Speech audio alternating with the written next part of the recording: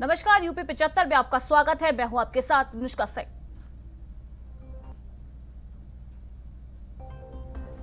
आगरा के पारस अस्पताल के संचालक का हुआ भांडाफोड़। पाँच मिनट तक मरीजों की जानबूझकर रोकी गई थी। ऑक्सीजन की सप्लाई बाईस मरीजों की चली गई थी जान।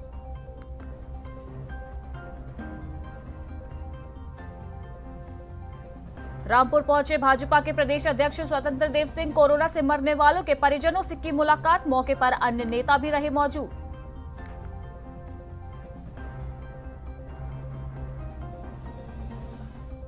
लखनऊ के छावनी अस्पताल में पीपीपी मॉडल पर प्रसव सुविधा की तैयारी, वेरी बोर्ड ने पास किया प्रस्ताव।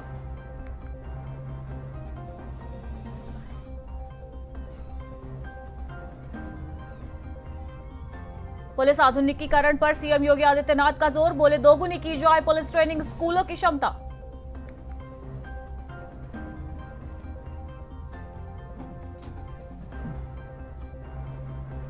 रायबरेली के कोविड अस्पताल में कंप्यूटर ऑपरेटर के रूप में तैनात युवती के साथ दुष्कर्म का प्रयास, पुलिस मामले की जाँच में जुटी।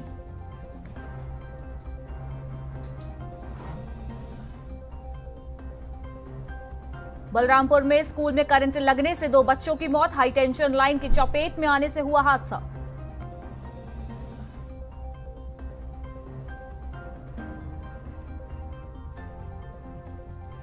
सुल्तानपुर में रेलवे ट्रैक के पास मिला डिग्री कॉलेज के लिपिक का शव। हत्या है या हादसा? इस बात का नहीं हो पा रहा रासपाश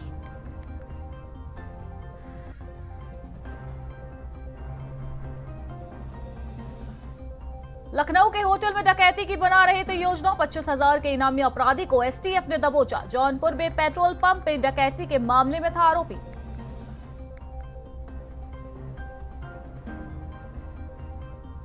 बहराइच में शराब के नशे में भतीजे ने चाचा का दराती से गला काट कर की हत्या। पुलिस ने आरोपी को किया गिरफ़्तार।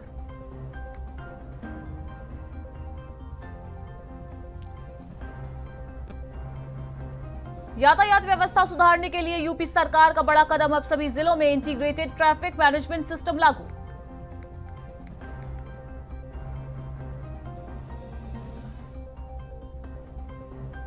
शराब माफियाओं पर नकेल के लिए यूपी पुलिस ने कसी कमर। अब संयुक्त टीम बनाकर होगी छापेमारी।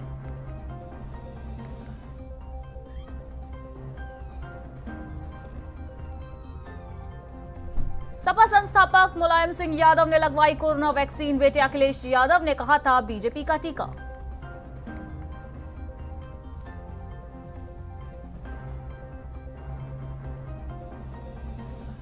सीएम योगी आदित्यनाथ ने कहा, कोरोना के खिलाफ लड़ाई में पीएम नरेंद्र मोदी ने देश को किया मज़बूत।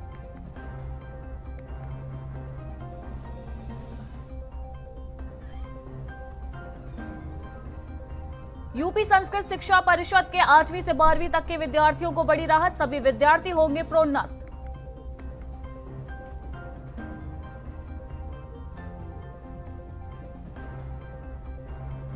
शाहजहांपुर में आर्थिक तंगी से परेशान, दवा कारोबारी ने पत्नी व दो बच्चों समेत दी जान, घर में फंदे से लटकते मिले शव।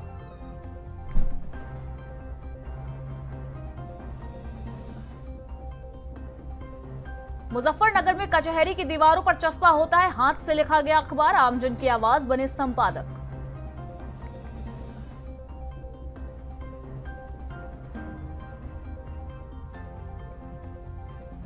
राजकीय हाई स्कूलों के शिक्षकों का दो महीने से नहीं मिल रहा वेतन, शिक्षक संघ ने उठाई आवाज़।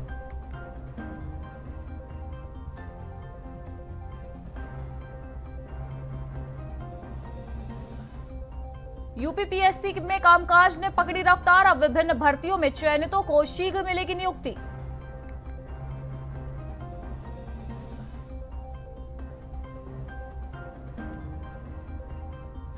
कानपुर डाकघर में सामने आया फर्जीवाड़ा। सहायक पोस्टमास्टर, डाक सहायक और ट्रेजरार हुए निलंबित।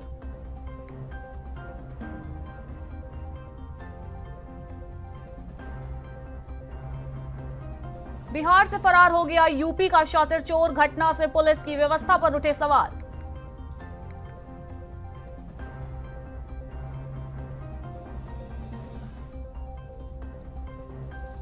रेलवे पीडब्ल्यूडी और बैंक में नौकरी के नाम पर की गई ठगी। लखनऊ में पंद्रह बेरोजगारों से डेढ़ करोड़ रुपए की ठगी।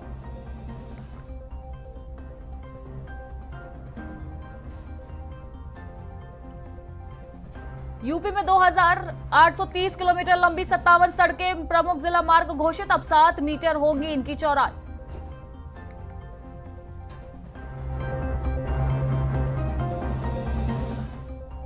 जहरीली शराब बेचने वालों के विरुद्ध कसेगा कानूनी शिकंजा, कोर्ट से दिलाई जाएगी कठोरतम सजा।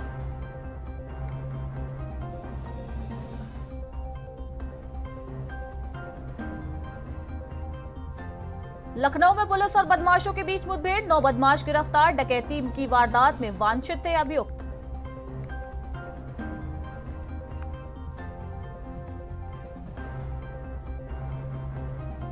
दो सौ से अधिक बूथों पर फिर होगा पंचायत चुनाव, पचास हज़ार मतदाता डालेंगे वोट।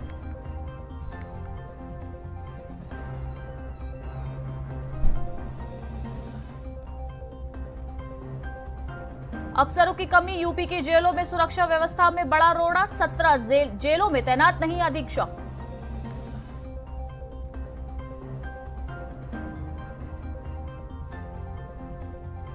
बलरामपुर में चलती कार में तमंचा लहराना पड़ा भारी, इंटरनेट पर वीडियो हुआ वायरल।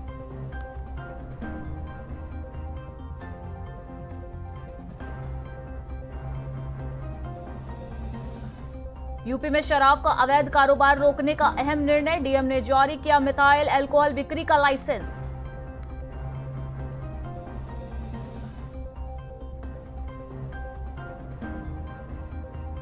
लखनऊ में धारा 144 लागू, अब 6 जुलाई तक जुलूस व सभा पर पूरी तरह से रोक।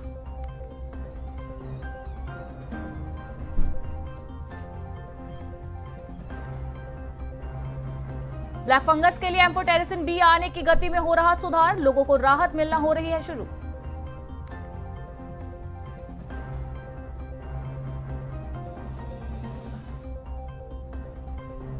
काशी में अनलॉक हुई आस्था कोविड गाइडलाइन के बीच बाबा दरबार में दर्शन पूजन शुरू।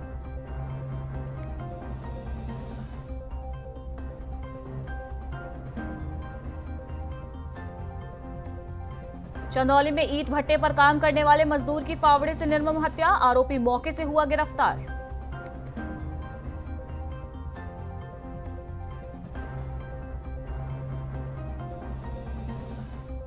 वाराणसी में ग्राम प्रधान के तीन ग्राम पंचायत सदस्य के 207 सीटों पर 12 जून को होगा मतदान।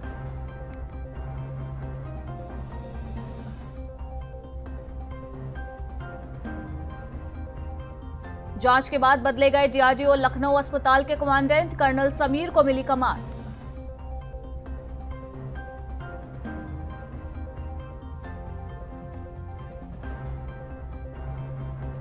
अयोध्या में आधी तूफ़ान से हुई भारी तबाही, तीन की मौत, आधा दर्जन हुए घायल।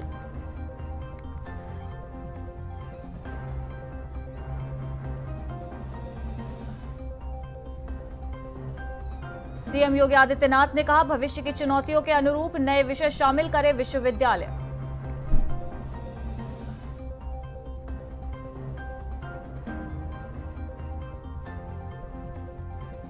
सीतापुर में कार में अचानक लगी आग बाल बल बचा चालक, हादसे में नहीं हुआ किसी को भारी नुकसान।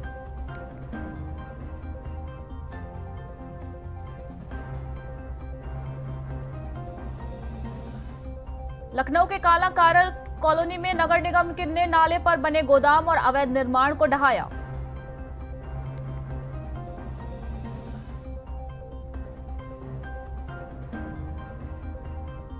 देश में कोरोना वायरस के तीसरी लहर के लिए कांग्रेस ने शुरू किया सेवा सत्याग्रह अभियान।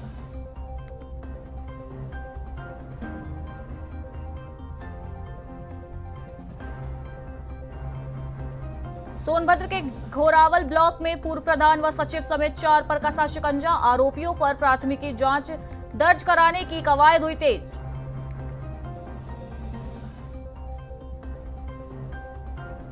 वाराणसी में 18 साल से कम उम्र वालों की शुरू होगी रैंडम सैंपलिंग, तीसरी लहर को लेकर अलर्ट में है चिकित्सा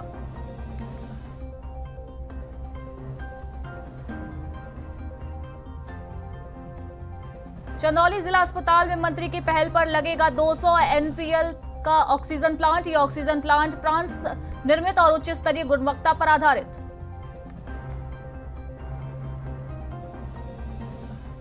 जौनपुर में 25-25 हज़ार के आरोपी गिरफ़्तार।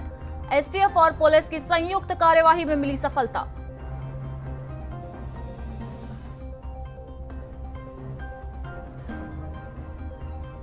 बलिया ज़िले में शादी समारोह में फ़ोटो खींचने पर युवक की, की हत्या मामले में एक आरोपी हुआ गिरफ़्तार।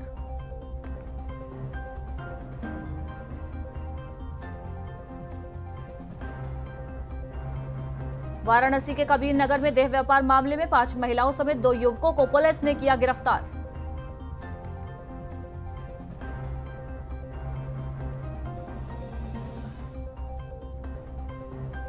इनकम टैक्स के नोटिस से उड़े गरीब के होश, बावन करोड़ रुपए का खाते में गुपचुप हुआ लेन देन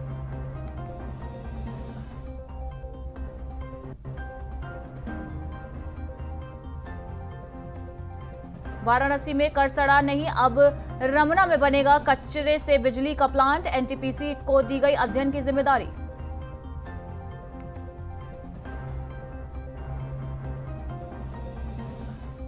गोरखपुर में दो परिवारों के बच्चों ने खेल खेल में किया। कोदाल से जानलेवा हमला, हमले में एक मासूम की मौत।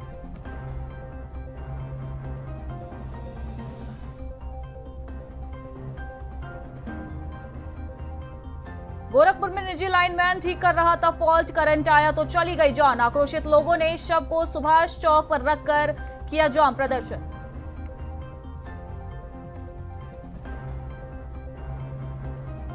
प्रयागराज में गायब युवक की टोन्स नदी पुल पर मिली बाइक। को खून के निशान से हत्या की आशंका, नदी में हो रही तलाश।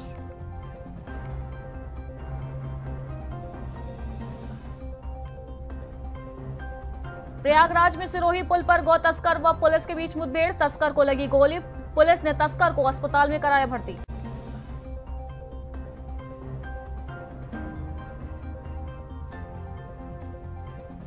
अटेवा की मांग, कोरोना संक्रमित मृत शिक्षकों व कर्मियों की नई पेंशन के वेतन का हिस्सा वापस करे सरकार।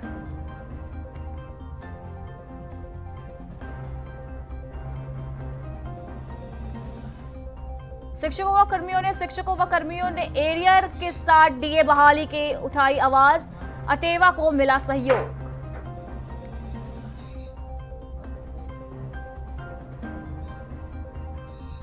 पंचायत चुनाव के महीने भर बाद दुश्मनी में बवाल, प्रतापगढ़ में ढावा संचालक ने साथियों संग दंपति पर किया हमला।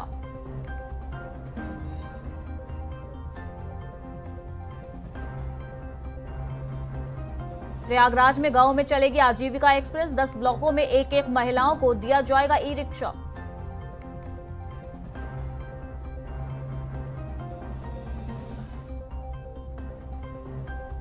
प्रयागराज में सवा लाख श्रमिकों व चौवन हज़ार स्ट्रीट वेंडरों को मिलेगा भत्ता। श्रम विभाग ने शासन को भेजा ब्यौरा।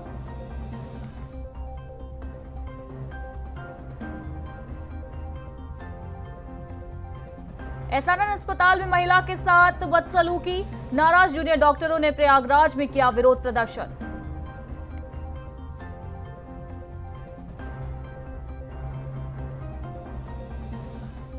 कोरोना पीड़ित परिवारों को अनुग्रह धनराशि का भुगतान करे बेसिक शिक्षा अधिकारी, परिषद सचिव ने जारी किया आदेश।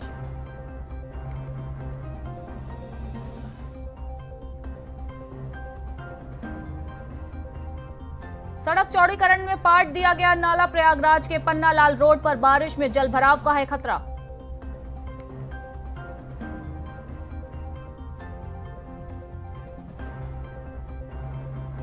मुजफ्फरनगर समेत पश्चिमी यूपी के आसमान से गुजरा अंतर्राष्ट्रीय अंतरिक्ष स्टेशन, लोगों ने देखा अद्भुत नज़ारा।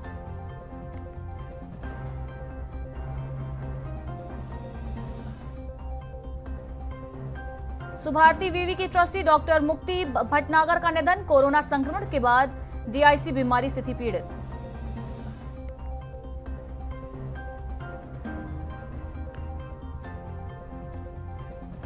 रायबरेली में साइकिल सवार बुज़ुर्ग को ट्रक ने पीछे से मारी टक्कर, मौके पर हुई बुज़ुर्ग की मौत।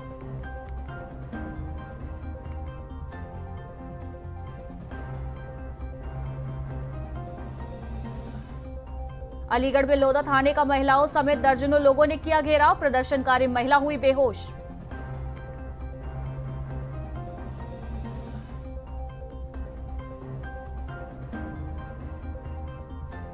कुशीनगर में पति ने भरी पंचायत के सामने पत्नी को जड़ा थप्पड़, घटना का वीडियो सोशल मीडिया पर तेज़ी से हुआ वायरल।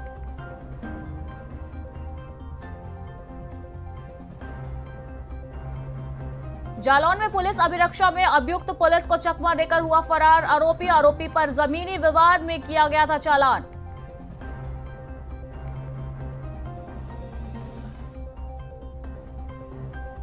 रायबरेली में महिला कर्मचारी से किया गया दुष्कर्म का प्रयास। आरोपी जेल कोच फैक्ट्री के हॉस्पिटल में आउटसोर्सिंग के तहत है तैनात।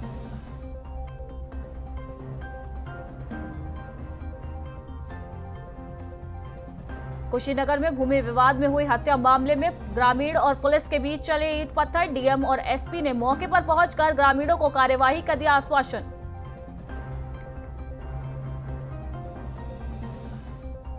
हरदोई में पेड़ से फांसी पर लटका मिला युवक का शव। ग्रामीणों की सूचना पर मौके पर पहुँची पुलिस, आगे की कार्यवाही में जुटी।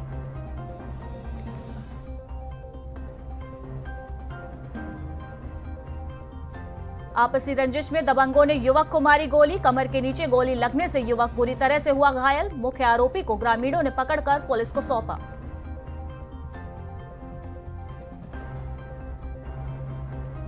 लखनऊ में दूर दराज गाँव के कोविड मरीजों के लिए स्थानीय छात्रों के समूह की अनूठी पहल, ऑक्सीमीटर व डिजिटल थर्मामीटर कोरोना मरीजों को दिला रहे सुविधा।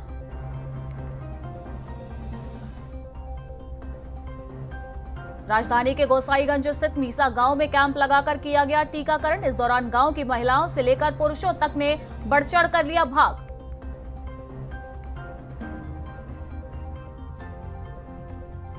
सुल्तानपुर में सरकारी कर्मचारी से 30 लाख फिरौती मांगने का सनसनीखेज मामला आया सामने। पीड़ित की तहरीर पर पुलिस ने दो आरोपियों को किया गिरफ़्तार।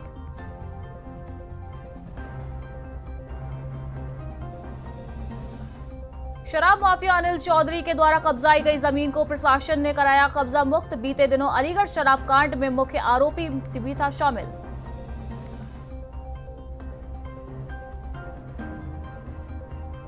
प्रॉपर्टी विवाद में दो पक्षों में जमकर चले लाठी डंडे। एक पक्ष का दूसरे पक्ष पर फायरिंग करने का आरोप।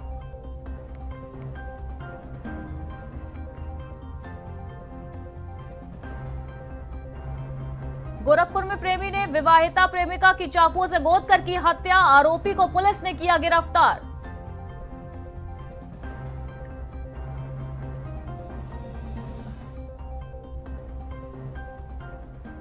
और इसी के साथ यूपी पिचहत्तर में फ़िलहाल इतना ही। देश दुनिया की बाकी की तमाम खबरों के लिए बने रहिए प्राइम टीवी के साथ। नमस्कार।